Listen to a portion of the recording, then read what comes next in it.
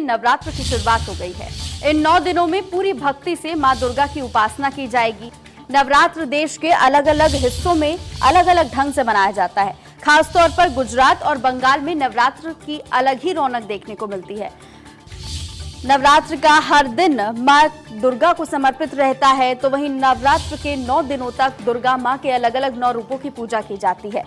नवरात्र के अंतिम दिन को महानवमी कहा जाता है और इस दिन कन्या पूजन किया जाता है। तो नवरात्र का हर दिन का एक खास महत्व होता है।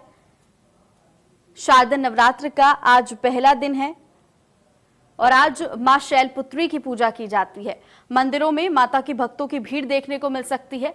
कोरोना काल में लोग मंदिर पहुँच रहे हैं, पूजा पाठ कर रहे हैं। हालाँकि इस बार कुछ प्रोटोकॉल्स का ध्यान रखना लोगों के लिए बहुत ज़रूरी है क्योंकि एक चुनौती है प्रशासन के सामने भी, लोगों के सामने भी कि किस तरीके से कोरोना गाइडलाइंस का पालन किया जाए, खुद को सुरक्षित रखा जाए और माँ की पूजा अर्चना भी की जाए। ये तस्वीरें झंडे वालान से आप देख रहे हैं,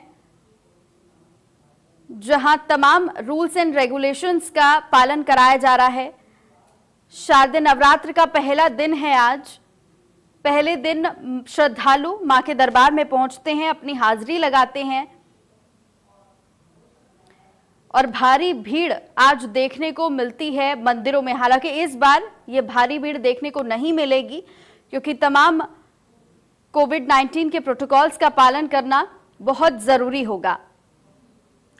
तो मंदिरों में माता की, भक्तों की भीड़ देखी जा सकती है, लेकिन हर बार जिस तरीके से नवरात्र में भीड़ देखने को मिलती थी, इस बार वो नहीं होगा।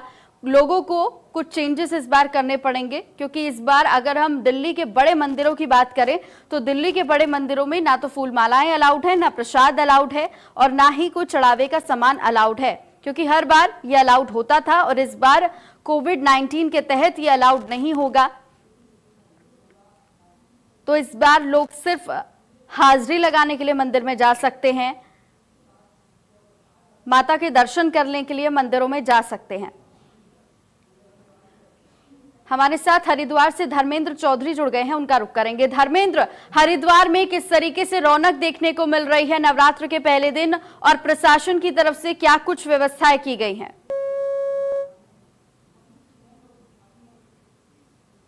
धर्मेंद्र संपर्क करेंगे, लेकिन उससे पहले आपको बताएँ कि शारद नवरात्र का पहला दिन माँ शैलपुत्री की पूजा आज की जाती है।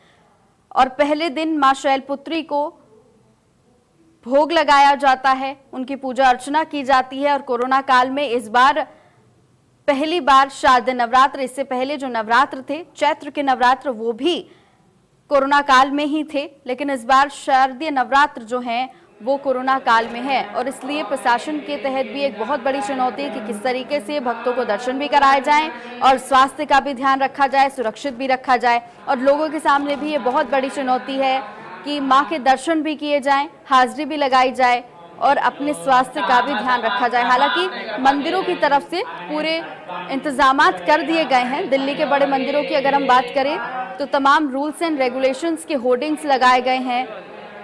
सेवकों को बैठाया गया है। सेवकों को अपील की गई है कि लोगों को समझाएँ कि किस तरीके से सोशल डिस्टेंसिंग का पालन करें। कोविड 19 के प्रोटोकॉल्स का पालन करना कितना ज़रूरी है। ये दो तस्वीरें आपकी टीवी स्क्रीन पर, जहाँ श्रद्धालु भी जागरूक हैं, बिना मास्क के मंदिरों में एंट्री नहीं दी जा रही है। तो वहीं दूसरी तस्वीर में आप देख सकते हैं कि पुलिस प्रशासन भी मुस्तैदी से यहाँ पर नज़र आ रहा है। अभी हमने कालका जी के पुजारी की बयान सुना उनका ये कहना था कि पुलिस प्रशासन की ओर से भी तमाम इंतज़ाम कर दिए गए हैं और मंदिर प्रशासन की तरफ़ से भी तमाम इंतज़ाम कर दिए गए हैं कि कैसे लोगों को सुरक्षित रखा जाए और माँ के दरबार में हाजिरी भी लगाई जाए। बहरहाल, आगे बढ़ेंगे। आज से शारद नवरात्र शुरू हो गए हैं। इस साल नवरात्र पर अट्ठावन साल बाद शुभ संयोग बन रहा है। ज्योतिष शास्त्र के अनुसार शनि और गुरु ग्रह करीब अट्ठावन साल के बाद अपनी राशि में मौजूद रहेंगे। तो वहीं माँ बगलामुखी उपासक ज्योतिरा आचार्य लोकेश शास्त्री ने बताया कि इस साल पुरुषोत्तम मास होने के कारण नवरात्रि का पर्व एक महीना विलंब से आया है। ये योग इस बार अट्ठावन साल बाद बना है, जिसमें शुभ संयोग कलश स्थापना के लिए बेहद शुभ है।